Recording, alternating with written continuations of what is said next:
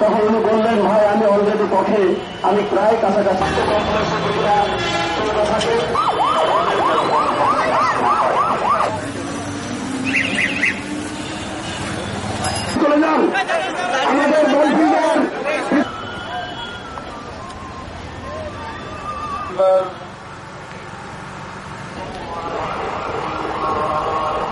Yeah.